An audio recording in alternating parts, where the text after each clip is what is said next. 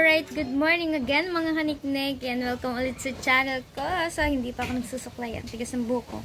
Kagagabi pa pala nang naligo ako. Say, fly away. Tinulog ng basa.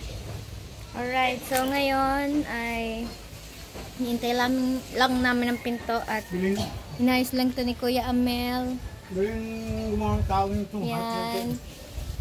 At syempre ito. Oh. Paano? Nilagyan ng mga bakal. Biling, May hagdan po dito ang guyam. para kumapit yung pumunto. Ito ang unang binutas kahapon, hindi pala dapat ganito kalaking butas. Dahil hindi naman kakasya rin bakal. Bakit garni kalaki ang butas? So, binutasan ulit ng Kuya Amelia ng bago ni Daddy Shark. Para sakto dyan sa ating bakal. At dyan guys, kaya hindi inalis yung mga bato dyan. Yung matitira na, matitira na simento. Dyan lalagay. Para pag naglalaba ako, hindi bumabaha dito hindi napapamura yung nadaan na Utsa, busa! At saka, mamaya din, kapag nakabit na yung hamba, saka lang ito lang lalagyan ng tiles ulit. So, kulang pa yung tiles natin ng parang dalawa. Dalawa lang yata kasi may extra pang isa doon.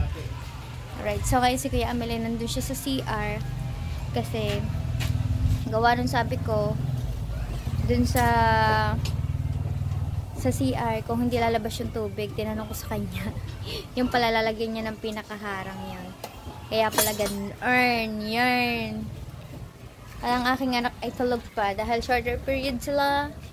1 PM pa ang kanyang pasok ang kakatuwang buko natulog ba naman ako ng basa kundi tuloy mag-ibit mamaya na rin Kaya Amel nandoon. At hahanap muna ako ng pambayad ko sa aking sa aking pinto. O nga pala. Babayad pa pala akong pinto. Habang walang ginagawa, magmamamaritisan muna kami dito na Nanay Lita. Ano ba mamamaritis mo sa akin, Nanay Lita? Wala. Ano? Wala akong Pasimple. Wala daw siya Wala akong nakita nakita. ni Marites. Ang marites lang niya ay ano, yung mainit, mo hindi tayo kasali sa mga Marites. Tapos ang pinoproblema niya lang ay yung kanyang gasol. May singaw daw. Ayos na rin. Yung pala yung kailangan lang lagyan ng napkin. Ano na, ano inayos mo? Dahil may singaw. Inigpitan ni ano. Hindi, baka yung regulator hindi maayos ang higpit. Kaya nga, inigpitan niya. You know, so naghigpit. pilay. Ay, si Kuya Michael. Si Kuya Michael ang sa Ni. Bibi doon. Dinala yun dito. Hindi ko na matapuan si ano. Nanay Lito, sabi ko pag ako, wala na akong ubo, magluluto ako ng hipong kakain tayong dalawa. Kaya lang, may ubo pa ako eh. Alis na, alisin mo na ubo, malis yan. Mismo na. Kailan ang huling kinain mo yung hipon? Oo. Yung pinibigay mo, eh. Oo. Tagal na panahon Di na ba, wala bilala hipon. ako ng munggo niya. Ay, ha, mabili daw munggo. Munggo o Parang- balatong? Balatong kasi dito yung munggo. Ang balatong sa amin sitaw. Ah! Balatong. Balatong sitaw. Eh, bakit yan? Munggo, balatong, tauge, oh. Iba nga yun. Basta ang balatong, sa amin dito. Mm, ano pa? Ano pang tawag niyo ng iba nun? Wala na, yun lang. Wala na, balatong na. Anong bilang bibili mo? Luto? Hindi, sila, lalaga ko sa kahoy. Lagyan Kala ko sa gasol, ipalbasa yung bago Ayaw ang ko gasol mo eh. ayaw sa gasol. Ilang araw na yun, nakahoy ako doon. Bata ko mag... Kaya pala nakikita ka namin ang umuwang kahoy. Mati ako mas... Saan ka nagluluto? sa balkon.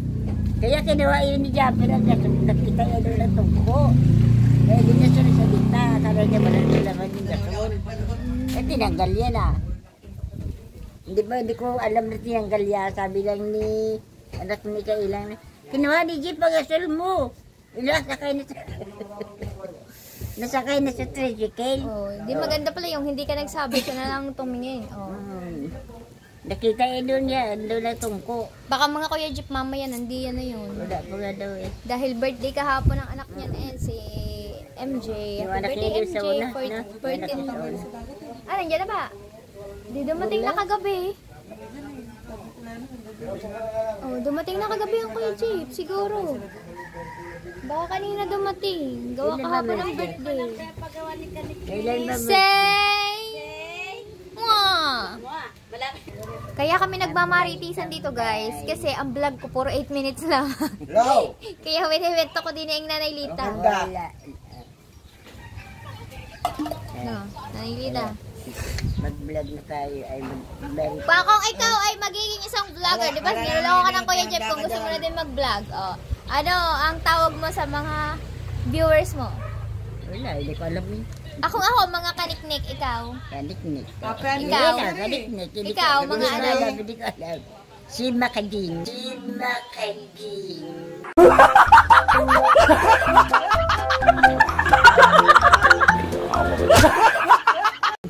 Makagenda! Wala nga kami tinda. Sabi mo na si Makading. mga kajin! What's up? Tara na tumagay! Let's go! Cheers!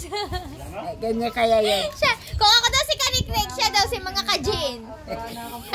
Si Makading. O mga kajin, diretso na, hindi makabilog. Jin!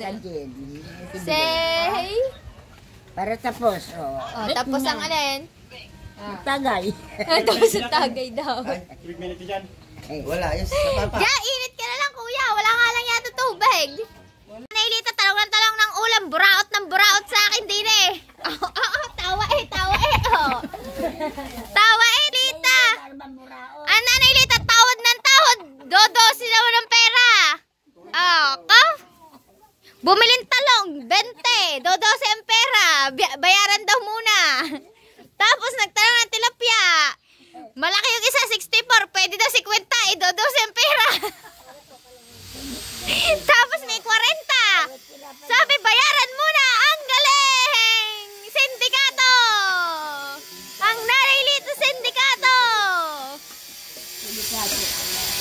Tam, wala kang karapos magtanong. Wala kang pambili. Inanay nito, talong ng talong. Yan, si Bingbang. Opo? Opo.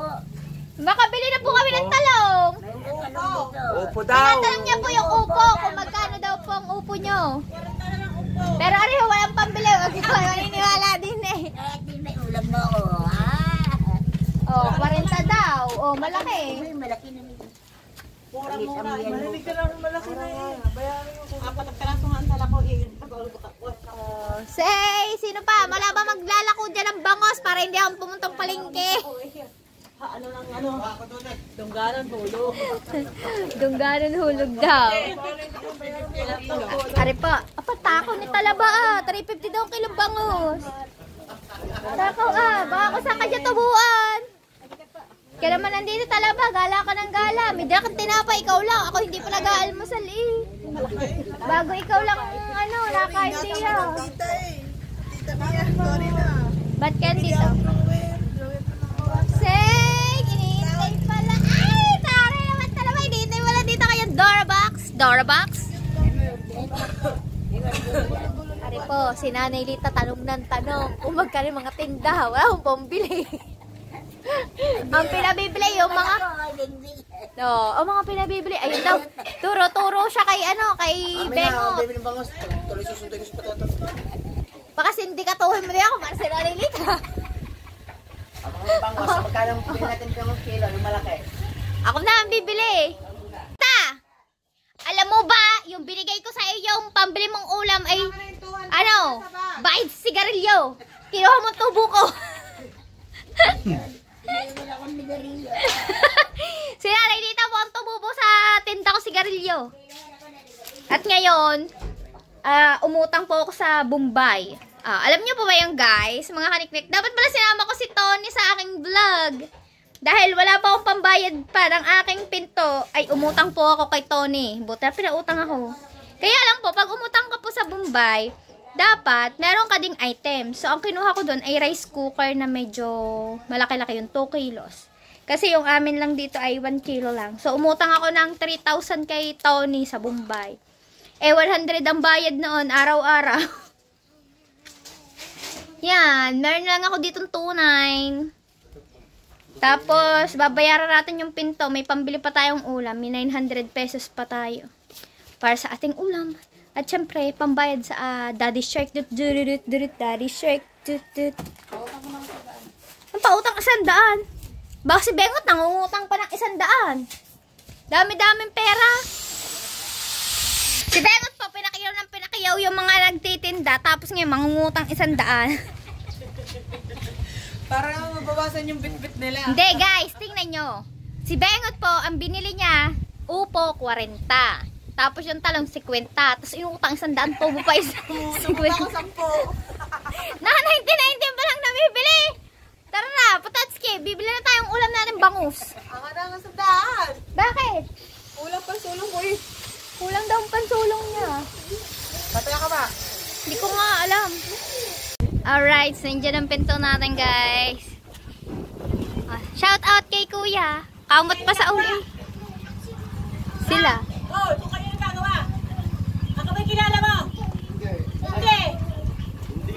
Di mo... Oh, di mo pa... Pasensya pala. Say... Di ako pinatawad niyan, tito. Di ako pinatawad. Ako, ito yung ulam ko. Thank you so much. Ay, otoy. Ba't nang walang design? Ay, ah, ano lang naman ay gawa ng liliit. Masyadong malapad. Mawawala sa... Okay lang. Thank you po. Ay, ate! Pasensya na. Kung hindi ka babate, eh... Oh, ay, ayan, ay, tita ko yun eh. Oh, hindi ba ako pinatawad? Si Ninita saan nakatira? Sina? Ninita. Alright, ito yung pinto natin. Ganito lang siya lang lapad. oh, sukat na sukat dyan ang motor, guys. Oh. Say, lapad ah. Guys, dito tayo sa hardware para bumili ng bisagra at saka pako. Sa katabi lang ito yung bilihan ng tiles. Kulang tayo ng tatlong tiles. Kailangan natin bumili. Mga kaniknek, bill na naman ang kuryente. Tatlong buwan na! Kaya putulan na! Alright. So, kinakabit na ni Kuya Amel ang, ay, nilalagyan niya na ng pako ang ating, ano tawag dyan? Hamba. Alright, ayan na. Kita nyo ba ang puwit ni Amon? Yan. So, yan. Oh, no. Nilalagyan niya na ng mga pako yung hamba para maikabit na dyan. Guys, hindi yan yung buong pintuha na laglag lang yung nandito kasi walang pangkapit. Ganyan na lang ang gagawin ng Kuya Amel. Nilagyan niya ng mga kable. Yan. Tingnan natin mamaya kung ano yung gagawin niya. Oh, di ba? Ang laki ng kawang. Sabi ko na eh. Ang laki eh. Parang ang laki ng, sabi ko, ang laki ng binuka. ah, ganyan ba yung sadya? Ay, hindi, yung ano, yung, di pinalakayan ko. ah, Para gawa ito madamay sa tibay. oh.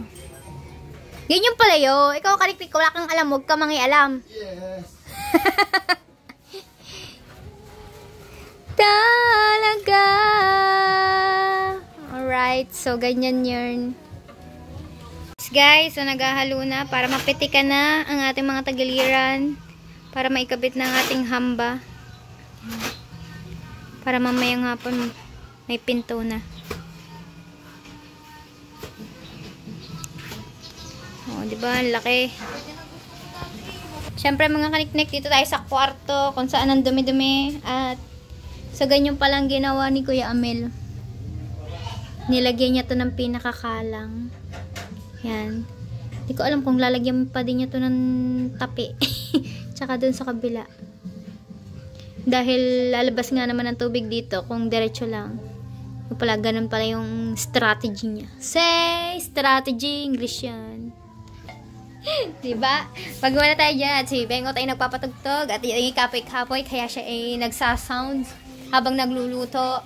Dito lang tayo. At mamaya pakikita ko sa inyo kung paano pitikan ng kuya ng yan. Ah, bakit nga pala ang Dada Shark hindi kasali dun sa ano, pinapagawa ng Kuya Jeff na bahay, no? Inuumpisahan na ulit yun, eh, no? Hinanap muna ng Kuya Amil ang kanyang plato. Rodela. At may nanghiram. So, nalagyan na yung sulok dahil para tumigis na yun agad para Hindi na kumilos ang ating hamba. Taas naman. Ganyan palang gagawin doon. Akala ko lalag... Akala ko bibili pa din ako ng ano. Anong tawag doon? Yung hollow block. Hindi naman kasi ang block diyan. Kala mo lagi yung hollow block. yung pala pagpapatong-patongin lang pala yun. Di, lalo na pagkakatibay niyan. Alright. Abang-abang mga kaniknik dahil si Bengot talaga i, ano, broken. Parang ginawa ko din magpatugtog. Alright, mga kaniknek. So, yun na nga. Update tayo sa ginagawang hamba ng Kuya Ramel dito sa ating pamamohor. Eight viewers. Dami kong viewers. Medyo mataas na po. Taas na ang mga nasirang simento. Oh.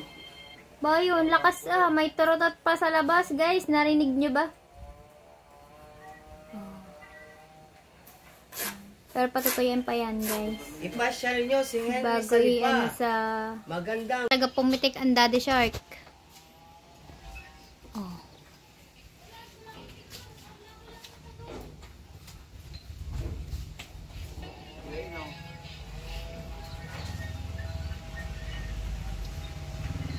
six viewers. Sobrang luwang yan, guys. Pwede na kayong sabay lumabas.